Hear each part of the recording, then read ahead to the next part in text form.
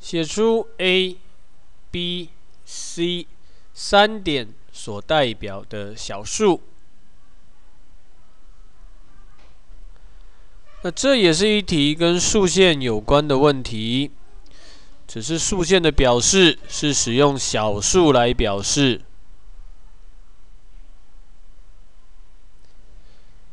那只要是跟数线有关的问题，我们第一个步骤都是一样的，那就是算出每一小格所代表的大小。那我们来算算它每一小格是多少呢？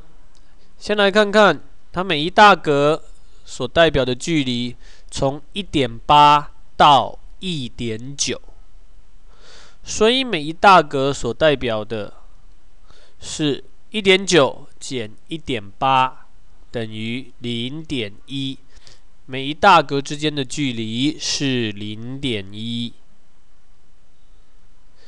那一大格里面有几个小格？我们也来数数看：一二三四五六七八九十。每一大格有十小格，所以我把一大格。平分成十份，就知道每一小格的大小。那一大格是零点一，平分成十份，就是把零点一除以十，小数点往左边再移一位，就是零点零一。那我知道每一小格。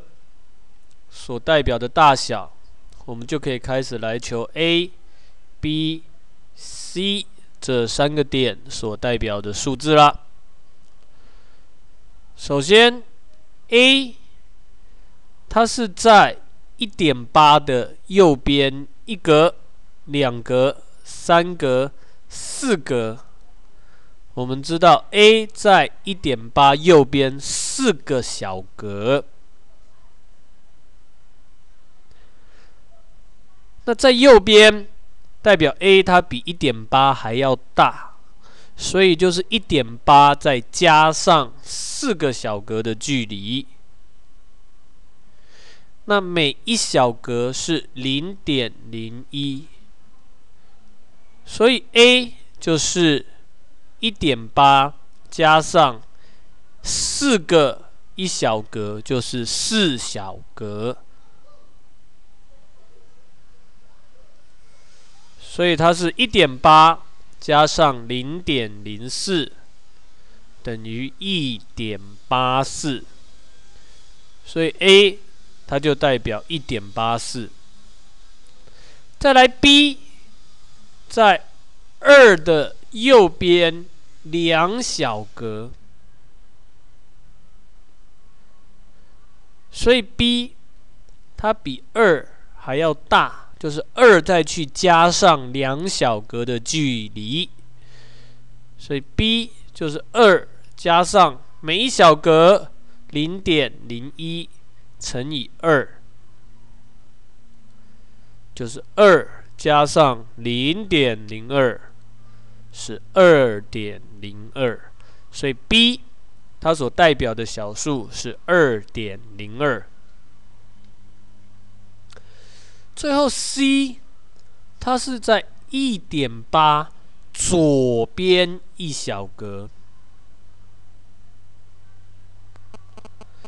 那代表因为它在左边，所以代表 C 它会比一点八来的小，而且是小了一格，所以 C 就是把一点八去减掉一小格的距离。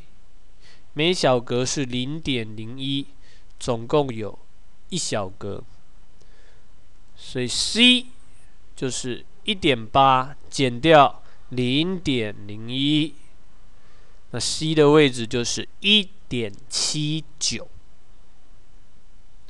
所以不论是分数或是小数的数线，第一个步骤都是一样的，算出每一小格所代表的大小。